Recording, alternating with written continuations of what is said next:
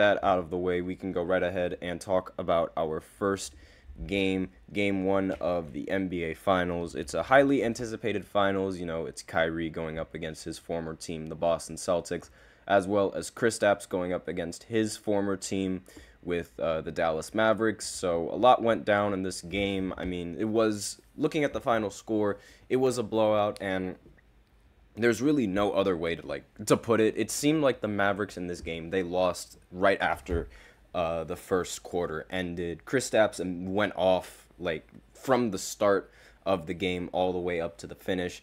And it was really like just the rough start for the Mavericks. They dug themselves up into a really deep hole and they just couldn't figure they just couldn't get out of it. I mean, the first quarter, the final score of the first quarter was 37 to 20. This was the largest deficit in a first quarter in the history of game 1 of the NBA finals. Like they completely dominated the uh, the Mavericks in every single facet in the first quarter. And the Mavericks they ended up they they were rallying like you know they were making efforts to try and come back but it's just ultimately fell short because like you know every single time they would they'd outscore the Celtics like um in every single quarter up until like in the second half but it wasn't by much. And when they were scoring you know Boston would just quickly answer back. They needed to be that efficient from the jump and they just weren't that efficient from the jump. And that's really what costed them.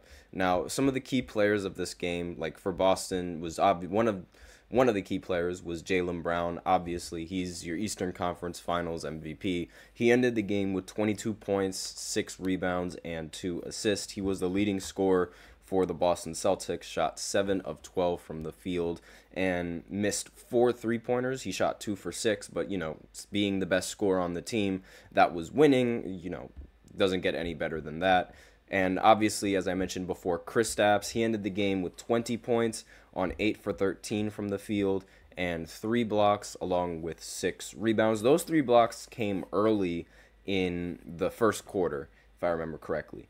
And Jaylen Brown, he also ended with 3 blocks in this game. I didn't put that up there because, you know, wanted to highlight the rest of his. I probably should have put that up there. It's better to highlight the 3 blocks than to highlight those 2 assists now that I think about it. But this was the final score, and part of the reason why the score was so lopsided was because Kyrie didn't really show up in this game. Now, there's a little bit of a of a narrative going around in the um, since the postseason has started. Now, Kyrie is, I believe, now with this game is 0 12 since stepping on the Celtics logo all the way back when he was a Brooklyn Net, and I believe it was in Game One where um, he did that against the Boston Celtics after they ended up losing that game. And ever since he stepped on uh, Lucky, as they I think that's what they call it, he he hasn't won a game against Boston since.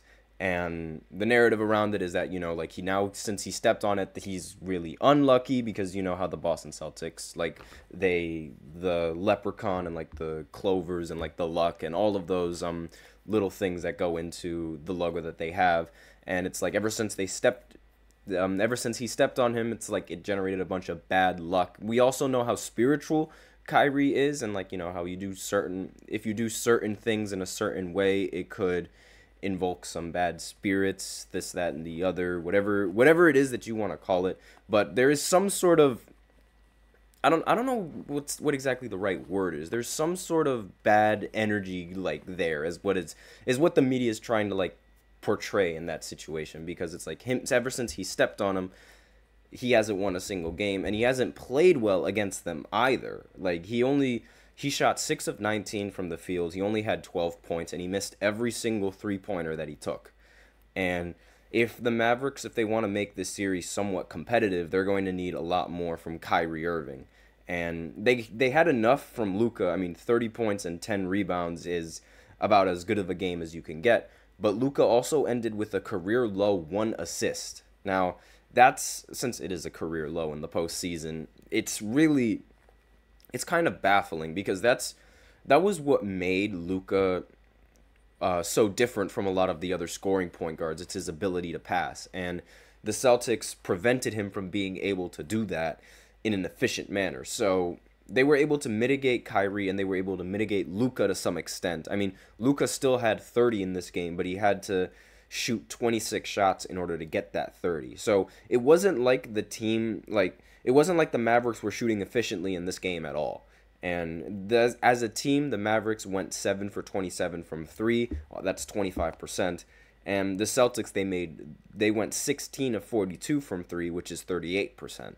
And already the the big difference is the three point difference, and that's really the big difference in terms of uh, offensive production for the Boston Celtics. They were getting a lot more out of their three point shooters, and as opposed to the Mavericks. Now, it's going to be really tough for Dallas to, um, I guess you could say, like sort of find themselves again. It was a long break. I don't really think the break had anything to do with this, the result of this game. However, like again, it was really like the biggest problem was the fact that Kyrie didn't show up. And I feel like once Kyrie figures it out, then the Mavericks will be off on a much better foot than they were in this previous game. So the Celtics, they're up 1 nothing in the series, and the next game isn't going to happen until Sunday on June 9th. So it's going to be a lot of waiting time between every single game. So it gives them it gives them time to come up with a game plan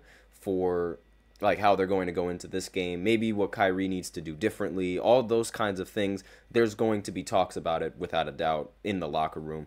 And that there's really not much to be said about this game. I mean, it was dominant this it was just the Celtics dominating from start to finish.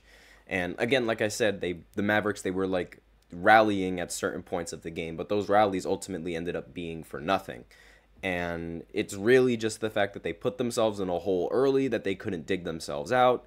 And maybe if they would have had a much, you know, closer first quarter, the result of this game could have been different.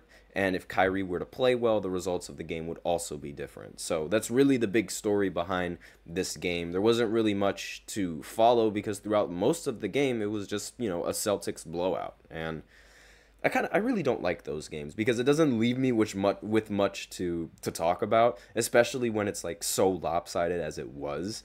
And the final score it wasn't it was one of the biggest leads and one of the biggest um, wins in the first game of a final series. So there's it, again, it's like it's really difficult to sort of draw stories around it and to talk about the game that was already decided once the first quarter started.